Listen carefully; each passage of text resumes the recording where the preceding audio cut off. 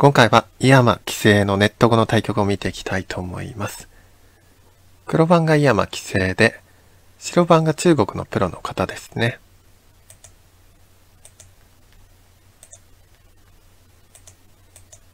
で、すぐに三々に入っていきましたね。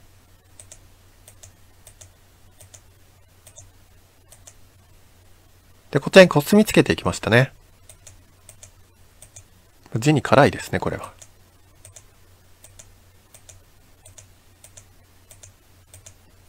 で、こちらに取って。で、閉まりました。で、開いて、灰を打って、これ一本で肩つきですね。で、こちらに打って、で、この時に抑え込んだ、抑え込んでいった一手がこれ厳しい手でしたね。まあ普通はこれ伸びるんですよね。伸びとか打つんですね、これ。で、白は、まあ桂馬ぐらいですからね。まあ曲がりぐらい打っといて。まあこういうような進行が、まあ普通の進行ではあるんですけど。まあこれで別に黒は不満、不満はないんですね。なんですが、あの、滑りが結構2線なので、そんなに上辺大きな字ではないので、制限してるんで、だいぶね。不満はないんですけど、これはもう、ここら辺の上辺の字を、もう完全に減らしつつ、分断しちゃおうっていう、まあ一番厳しい手ですね。で、跳ねて。ただね、これ結構やっぱ周り白石たくさんあるので、まあややね、黒が無理、無理気味だったのではないのかなと思いますね。で、これは、まあ、白が逃げたら可決合っていう意味ですけど、これが教師でしたね。で、ついて、こういう形となりました。まあ、ここでは切った時には、まあ、ポン抜き、取る手もあったかの、取る手もあったのかなと思いますね。これは伸びになりますね。で、まあ、これで黒が先手取れるんですよね。まあ、ここら辺打ってという展開になるんですけど、まあ、黒としては先手でポン抜き打てればそんなに不満ないんですよね。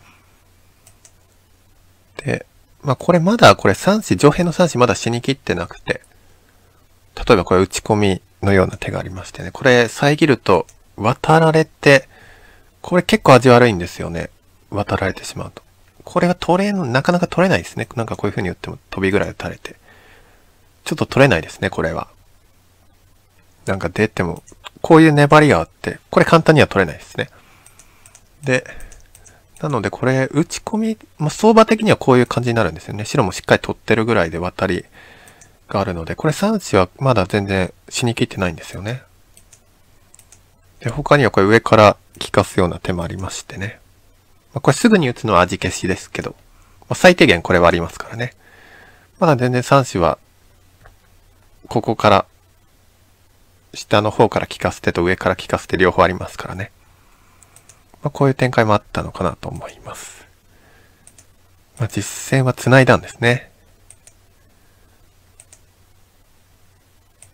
これは、こちらに打ちましたね。まあ、継ぐと羽が先手になるので、まあ、鳥ぐらいですけどね。またここ、ここが効いてくるんですよね。これがまた取らないといけないので。なので、ちょっと次の形悪いという判断しましたね。で、こうやって並びで打って、まあ、黒が取ったら渡ろうって言ってるんですね。こうやって、2線で。で、並びに取りましたね。で、これで一段落なんですけど、これはですね、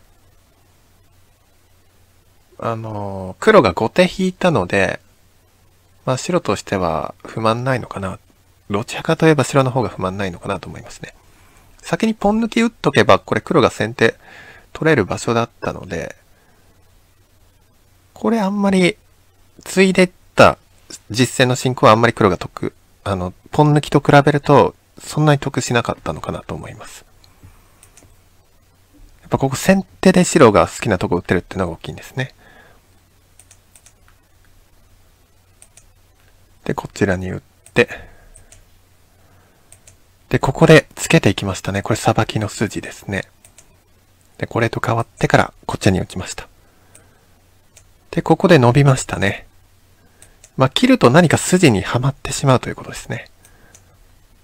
これ隅を先に決めるんですね。これ跳ねて、形を先に隅を決めて、まあ、こうやって出てくんですね。で、ちょうどこれ切る手がないということですね。切ると、切られて、種石が取られちゃいますね。なので、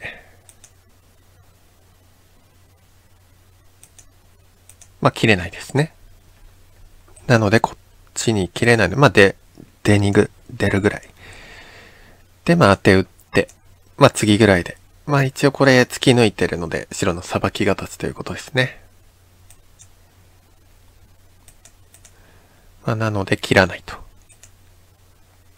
で、ついて、押さえまあ、切りにはしっかりね、手厚くっときまして。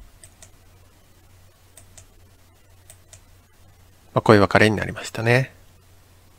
で、ここで、次に黒が打った一手、鬼手でしたね。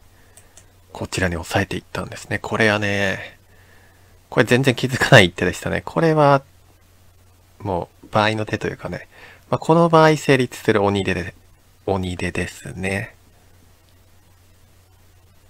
これはね、意味としては、これ普通は気づかないんですよ。筋の悪い手なので。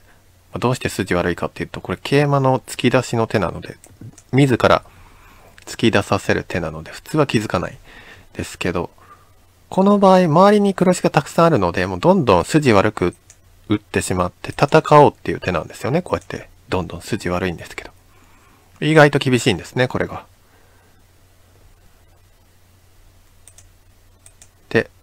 まあ、白押さえましたね。で、コスミつけて、出て、押さえました。で、当てていきましたね。まあ、これやはりこれ先ほどのこっち助けたいんですけどね。こっちにどんどん押されて、これここの切りの弱点があるんですよね。ここに切ってく。ここに切っていく弱点もあるので、この戦い、やはりこれ逃げ出していく手がちょっと白が無理気味なんですね。で、実戦は、こういう、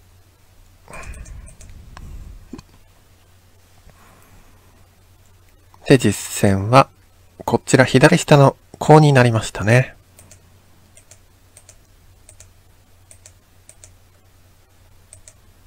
で、飛びましたね。で、こちらで受けましたね、白は。まあ、この飛びは効いてますね。次に3子、逃げ出す手があるので、まあ、白が切りの弱点守ったら黒も受けないといけないですね。で、下がって。で、こちらに切っていったで、これが頑張った手でしたね。ただですね、この下がりが形の急所だったんですね。これはちょっと白の眼形がなくなってしまいましたね。なので、ここでは、ここが急所だったんですね。眼形の。で、これだと黒も伸びぐらいになるので、貼って、まあ、これ押さえますよね。で、切りを打って、繋いで、押さえて。まあ、こう打ってれば白は、隅で簡単に生きることができましたね。まあ、これぐらいが、相場だったんですけど、ちょっと白が頑張ったんですね。切りで頑張りました。まあ、これ、継いだら、こっちの一目取りに行こうっていう手ですから、これはちょっと黒耐えられないんですよね。なので、黒、これ絶対継いでくれない場所なんですね、これって。ここに切っても。だここが、急所でした。で、これはですね、白が生きてないんですよね。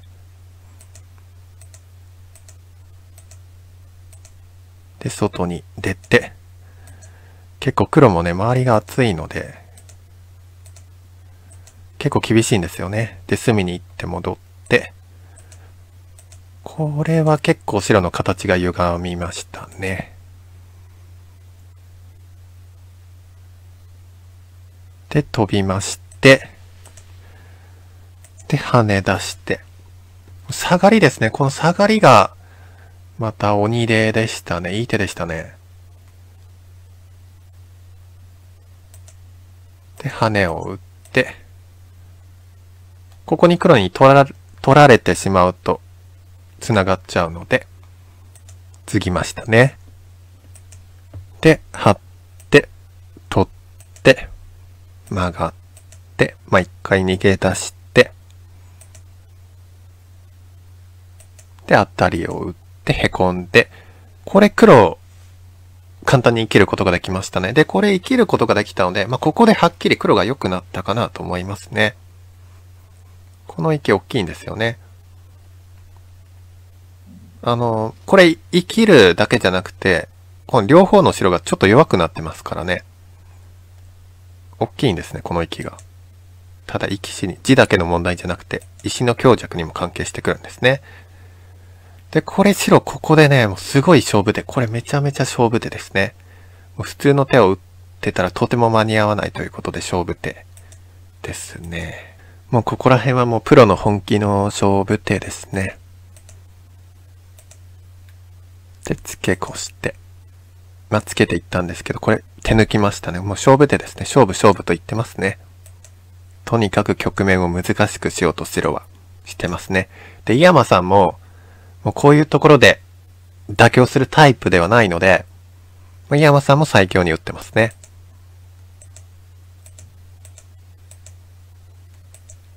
で、こちらに跳ねて、この跳ねる手が手筋でしたね。まあ、継いだら、白が継いだら継ごうっていうことなので、まあ、切るしかないんですね。で、こちらに打つ手があって、これはすごい手筋でしたね。種石を取りました。で、割りこ、これ割り込みがね、やっぱここら辺山さん全然妥協しないですね。すごい最強手でした。まあ、鬼手ですね、やっぱり。あのーこれ分かりやすく打って、まあ、黒が相当形勢はいいと思うんですけど、例えばこれ一番分かりやすくコスミでね、打ちまして。なんかこんなもんで黒が相当いいはずなんですよ、形勢は。まあ、ここ、まあ、白こうやって出て、抱えとか打つんですかね。まあ、これで、まあ、逃げると、これで、ちょうど追い落としですよね。告げないですよね。まあ、こんなもんになると思うんですけど、わかり、一番わかりやすく打てば。あの、ここの黒がとりあえず助かってれば、まあ、一番わかりやすいんですね。で、ここの、ただわかりやすく打つと、ここら辺が、大きな白地になるということなんですよね。ただ、これ別にそんなに大きい、見た目大きく見えるかもしれないんですけど、そんなに大きな白地ではなくて、最低限この挟み付きがあるんですよね。下がると切る手がありまして、これは、こっちに逃げる手があって、継ぐと取られちゃいますよね。最低限挟み付けはあるので、まあ、ついて、渡って、まあ、ま曲がりぐらいなんで、まあ、そんなに大きくないんですよね。また黒が好きなとこ打てますからね。なので、これが一番わかりやすい進行ではあったのかなと思います。まあ、ただ、井山さんはこういう、なんというかわかりやすい手は絶対打たないので、もう最強に打ちますね。割り込みから切りが、また鬼ででしたね。で、出て。で、これもお互いもうね、白もね、難しく打とうとしてますから、もうお互い気合の応酬ですね。で、こちらに打って、これ振り替わりになったんですね。ここの黒石は取られてしまったんですね。取られたんですけど、こっちに切る手がありますね。鳥に伸びて、これ、この振り替わりは、いい勝負かなと思いますね。ここの黒石取られたのはやっぱ大きいんだけど、ここら辺の白の3子取って、ここら辺にできそうな白地が黒地になりましたからね。まあこれは、まあ井山さんは黒不満ないと思ってたのかなと思いますね。結構黒も、まあ、わかりやすい形になったのかなと思いますね。だから井山さんのこの割り込みがめちゃめちゃいい手でしたね。で、飛びまして。で、ここもですね、まあ、白ちょっと軽い気持ちで利かしに来たんですよね。まあ、これもなんか、受けてればね、わかりやすいんですよ。なんか抜きとかぶつかりとかで、受けてれば、まあ、引きぐらいになるので。まあ、これもわかりやすいんですけど、まあ、井山さんやっぱりこういうところ、わかりやすく打たないというか、妥協はしないんですね。受ける手は打たないと。まあ、これが、コスミツケから切ってった手がやっぱり厳しかったですね。で、こうやって。まあ、白が取られるっていうことはないんですけど、ちょっと形が歪むんですよね。この、あんまり打ちたくない形になると。で、これ切るのはさすがに無理で、無理ですね。切るのはこちらに切られて、これ逆に黒が潰れちゃいますね。まあ、切りはないんですけど、まあ、ここまで打って、まあ、次ぐ、戻るんですね。黒も行って。で、こういう形になりまして、まあ、それから戻りまして、まあ、これは、黒がめちゃ、あの、白が利かしに来たところをですね、逆に黒が利かし返したんですね。まあ、利かし返しですね。で、この利かし返しが決まって、黒の優勢がはっきりしたのかなと思います。で、まあ、ここら辺で形勢判断するとですね、もう圧倒的に大差で、大差で黒がいいんですね。まあ、この後はもうしばらく打たれるんですけど、山さんの中押し勝ちとなりました。山さんの名曲だったのかなと思います。というわけで、今回はここら辺で終わりにしたいと思います。よかったら高評価とチャンネル登録もよろしくお願いします。ご視聴ありがとうございました。